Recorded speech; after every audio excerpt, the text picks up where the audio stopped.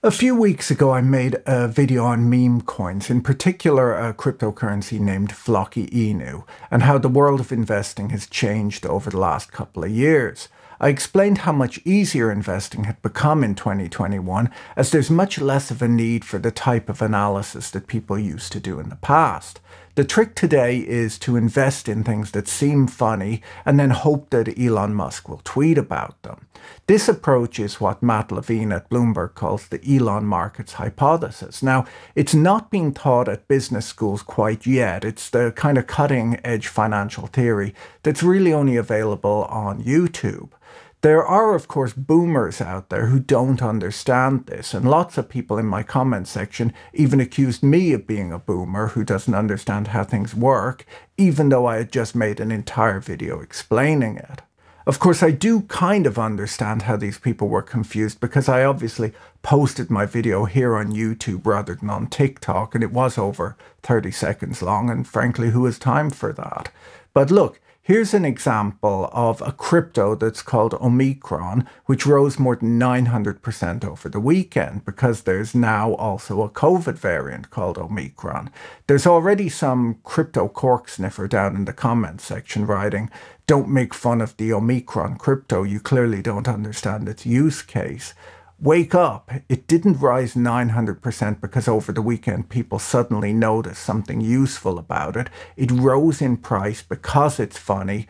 That's how markets work and stop overcomplicating things. Anyone who paid attention to my earlier video would have caught the majority of that move. Anyhow, a viewer just yesterday contacted me to show me how some old fashioned investors might actually be catching up with the times. They sent me a link to a letter sent by an activist investor to Jeffrey Gennette, the CEO of the department store Macy's. You know Macy's, it's the department store where you might go if you were trying to buy a suit with an elasticated waistband. So, to give you some background on activist investing and what activist investors are, they're a type of investor, they've been around for quite a while. They're typically big investors who take a position in a company's stock with the goal of changing the way the company's run. So, for example, an activist investor might want to oust a company's CEO, uh, to close down stores, or to streamline the entire business model. They make these changes with the goal of boosting the stock price. Activists typically target companies that are underperforming relative to their industry, and due to their often aggressive attitude towards management and their hostile approaches to short term profit making, uh, they're often seen by the press as being corporate raiders, green mailers, or asset strippers. Some of the better known activist investors are people like Bill Ackman, Carl Icahn, David Einhorn, and Dan Loeb. Now, a few years ago, some of the better known activist investors busied themselves with putting together PowerPoint presentations that were hundreds of pages long that laid out the case for change within a given company. Often the activism would involve trying to convince the company to change something about their way of doing business. Other times they might be pitching that the government get involved to crack down on a company like Herbalife. A lot of the time the focus was on financial engineering, telling the company to make certain changes to its corporate structure to reduce taxes, for example. Now, one of my favorite examples was from back in 2014 when a company named Starboard Value presented an almost 300 page PowerPoint deck on how the Olive Garden restaurant chain needed to change. There was a slide on how they needed to change their breadstick policy to reduce food waste, a slide on how they used non standard drinking straws, which then required a custom run from suppliers. There was a whole section which included photos on how the food looks like garbage. It wouldn't be a true activist investor presentation, of course, if there wasn't a populist element. So in this slide, Starboard attacks the company for its wastefully luxurious corporate offices, and this one suggests that the restaurant managers be paid more. There was even a section on how Olive Garden had stopped putting salt in their pasta water in order to get an extended warranty on their cooking pots. These guys had done their research. Starboard Value eventually pulled off their shareholder coup and made major changes at Olive Garden. They simplified the menu, they added those awful tabletop tablets, and invested in the takeout business. They decided against salting the pasta water. Apparently, it does ruin the pots. But anyhow, the stock price rose 48% after the changes were made. Now, this is, of course, a totally out of date example. I'm just telling you about it so you know how things used to work. Obviously, as I said earlier, investors today demand different things. Today, it's fine if a restaurant's food looks like garbage, as long as the company CEO is willing to reveal that he's not wearing pants in a YouTube interview, like Adam Aron of AMC did a few months ago. This has become common knowledge. In this clip, you can see Kevin O'Leary trying to appear relevant to a youth audience. Now, either you believe in cryptocurrencies and you believe in what an NFT is, or you don't. I'll tell you, I am not looking forward to the presidential debates in 2024, but that's a different topic.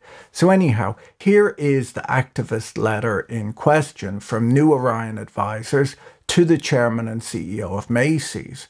The letter starts out by requesting that the board of directors give immediate consideration to a proposed path to unlock the full value of Macy's digital business. I won't lie, it's already a bit boring and old fashioned, but then we get to the suggestions. They suggest that Macy's should form partnerships with EV car companies, e.g., Tesla Lucid or Rivian to showcase their products on the ground floor of Macy's 100 top landmark stores. Note that they suggested specific EV companies, Tesla, Lucid, and Rivian. It would obviously be a disaster if they were to showcase the Nissan Leaf and the Mustang Mach E next to a display of elasticated waistband suits.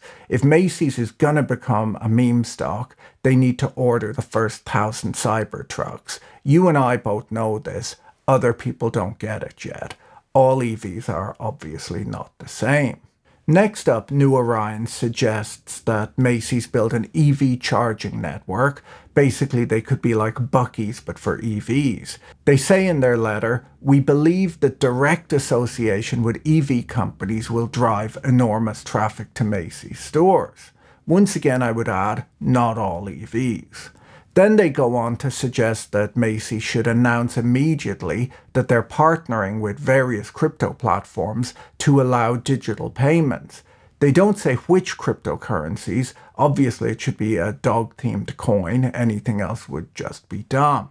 Now, just to be clear, while this advice generally does make sense, as they're essentially pushing the CEO to understand the new world and to make some effort to become a meme stock, Old fashioned investors will still argue that a fundamental change within a business might add greater value, but I think we all know that the CEO doing something dumb is much more likely to boost the stock price today. Unfortunately, I'm not able to wholeheartedly agree with the NuOrion strategy. Frankly, it's just way too conservative and a bit of a cliche.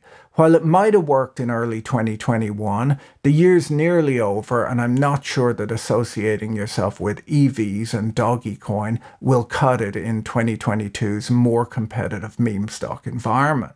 This letter was written by finance guys who are unfortunately still a bit old fashioned, but at least they're trying. Look, as we've just established, Kevin O'Leary, a man who up until recently has been wearing a red pocket square in order to be edgy, is already appearing on YouTube with no pants on and talking about NFTs. And frankly, no one cares. In fact, you probably just learned about it in this video. It's not exactly getting headlines. Look, here's another example. This is a photo of David Cameron and a pig and probably less than 10% of you even know why that's funny. And that just illustrates how fast the news cycle moves nowadays. And while Macy should definitely put out a press release about electric cars and crypto, we have to realize that that's just the bare minimum. There's no doubt that in order to truly unlock the full value of Macy's digital business, its management are going to have to go a bit further to stand out. In fact, please feel free to share your suggestions in the comments section because at some point I'll have to update my corporate finance textbook and I might need to rely on some of your suggestions of the modern methods for unlocking value in a stock. Look, some of you are going to tell me that this is all just dumb, but maybe you're just out of date. Look, if I own shares in Macy's right now, I'd be putting pressure on the CEO to book the next SpaceX flight that he can get himself on, and he should probably bring that doggy coin dog with him into orbit. If such an announcement does turn up in Macy's SEC filings, you should probably buy some short dated out of the money call options because it's going to the moon. Now, if you missed my earlier video where I explained the new rules of finance, here's a link. See you guys later. Bye.